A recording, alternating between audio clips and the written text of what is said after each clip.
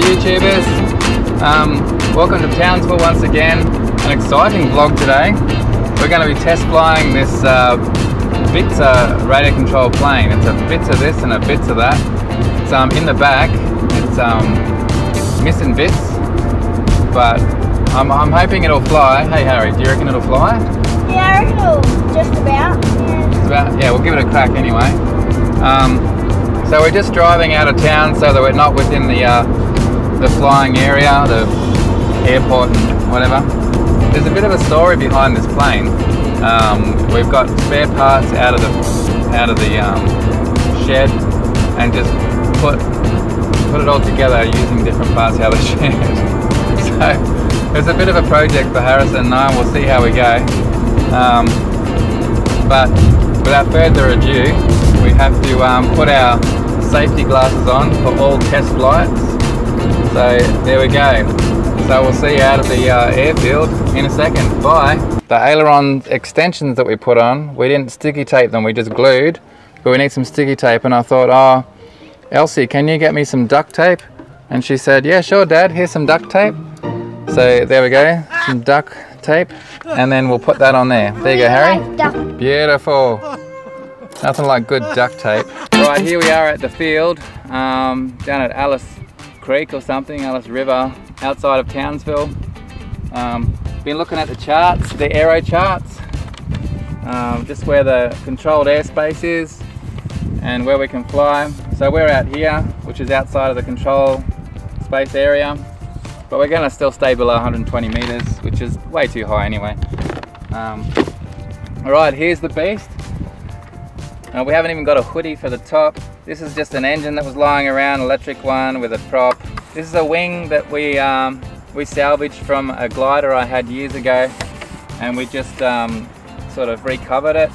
We made extra big. This is one of the modifications we've done. We've done like bigger ailerons because we didn't have much authority because it's such a big wing test or flight check. Pre, whoops, didn't need that. Pre-flight check. Um, I better put this elevator thing on.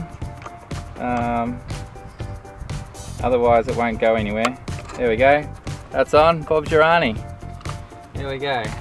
Got the speed controller, bit of wheels, I don't know, landing wheels. Just check the center of gravity, gravity when we put it together. And the controller on.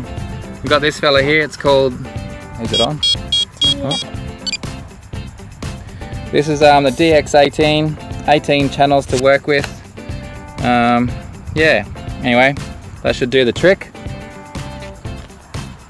I'm using two batteries because I didn't want to buy any more batteries. I just wanted to keep the cost down to barely nothing. Yeah, so two batteries to get me up to around the 3,600 milliamp hours. Just put some rubber bands in there to hold it in. Like that, nothing special. Warts and all on this one. Nothing fancy. Just having fun. That's what it's about. Check. Okay, center of gravity is good. Um, Test ailerons and elevator. yeah, and can you do a flight control test, Harry? Just do a throttle check there. Full throttle. And off. Beautiful. Now let's test this. Yep, that's nice and tight. Ready to go. Okay, here we go. All ready to rock and roll. Um, getting a bit nervous now because I don't want it to come down in a thousand bits. Anyway, we'll see how she flies. And then hopefully Harrison will get to have a fly. All right. Here we go. Let's see if there's enough power in this thing. Ah!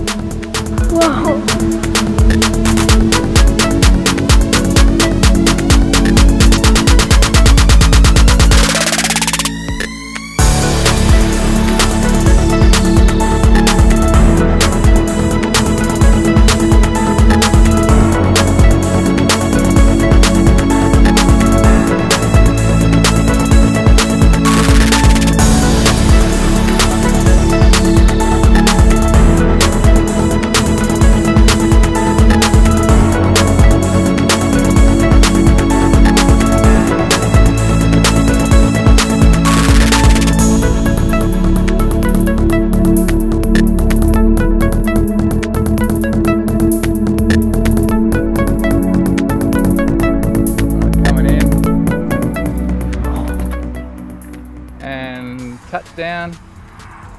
Oh, look at that. Lovely. Hey, can I, oh.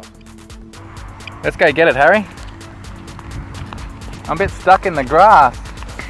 Um, bogged in the grass. Bogged, yeah, bogged.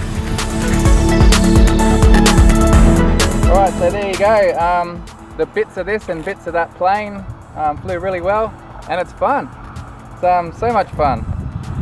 So yeah, give us a thumbs up if you like the video or if you want to see more of this bits of this and bits of that sort of stuff that we got laying around the shed.